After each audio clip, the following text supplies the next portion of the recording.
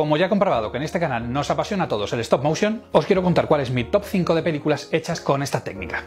En el número 5 está Merian Max, película australiana del año 2009 y animación stop motion impecable. Esta técnica no hacía más que acrecentar lo emotivo de esta historia de amistad entre una niña de Melbourne y un cuarentón de Nueva York. Una historia triste pero a la vez esperanzadora. En el número 4, La vida de Calabacín, una maravilla del año 2016 que entre otros guionizó Celine Siama, que tiempo después dirigiría la gran Retrato de una mujer en llamas. La vida de Calabacín es una tierna y bellísima historia sobre la infancia, la amistad y un tema tan peliagudo como la adopción en el número 3 vamos con Alice, la peculiarísima versión del cuento de Lewis Carroll que dirigió uno de los grandes de la animación europea, Janes Bachmayer. Algunas veces surrealista, otras terrorífica. Alice es una auténtica pasada. En el número 2 situó una de las genialidades de la filmografía de Wes Anderson, ese director tejano que ha creado escuela con sus narrativas y con la genuina puesta en escena de sus películas. Fantastic Mr. Fox no es una excepción. Visualmente es genial, pero su argumento además es de lo más entretenido. Una película con la que me divertí muchísimo y que además ponía de manifiesto la capacidad que tenía Wes Anderson para hacer cosas únicas. Y por fin, en el número 1, en ese pedestal tengo Coraline,